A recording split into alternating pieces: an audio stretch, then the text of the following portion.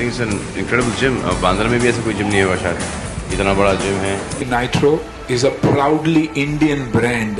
that can compete and probably beat any other brand in the world luxury at the right price is truly nitro